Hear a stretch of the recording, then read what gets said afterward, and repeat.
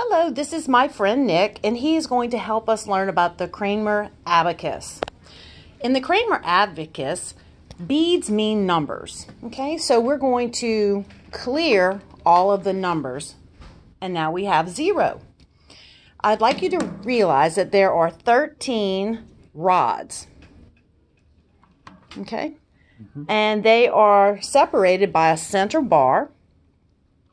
The bottom beads are ones, and the top beads are considered five beads. Okay? Okay.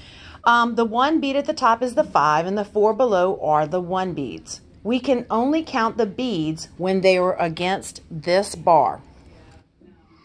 The number zero looks just like this. Feel that's nothing touching the bar on either side. Do you feel this? There's nothing touching the bar on either side.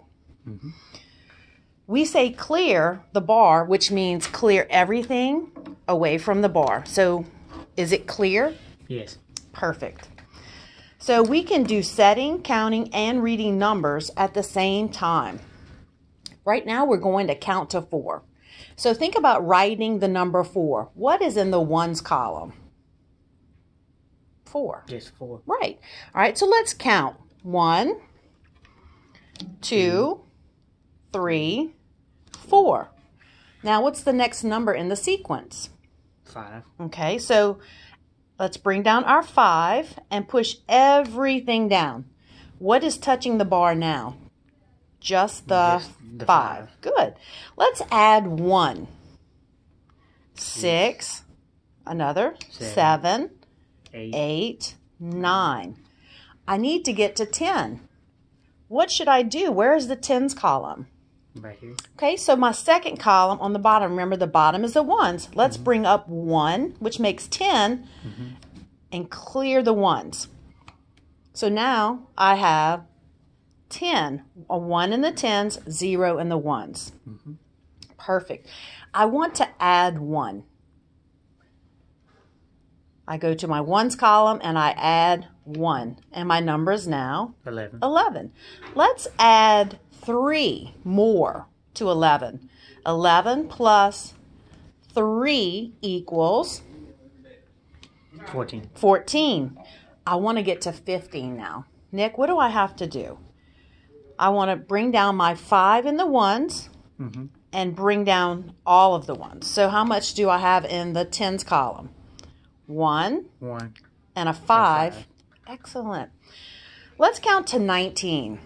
So I've got 15, 16, 17, 18, 19. The next number, because I don't have any more beads, would be 20. I need to add 1 to my tens column. So I add my 1 to my tens column, which gives me 20, mm-hmm. and I clear my ones column. Okay, let's set 99. Okay, so I need to figure out 99. I need five, six, seven, eight, nine in my tens column. How many do I need in my ones column to get to 99? I need a five, six, seven, eight, nine. Great job. Notice that you have nine in the tens and nine in the ones, which is 99. Mm-hmm. I'd like to add one more and get to 100. Where's my hundreds column? Right here. Okay, so I want to add 1 to my hundreds column. So I go to the bottom, mm -hmm. bring up my 1, and I want 0, 0, 100. So I have to clear everything else away from the bar.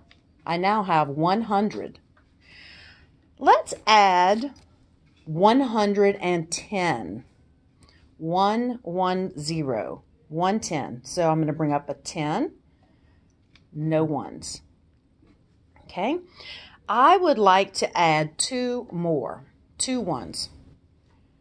Got 110. So I want to make it 112. Yes.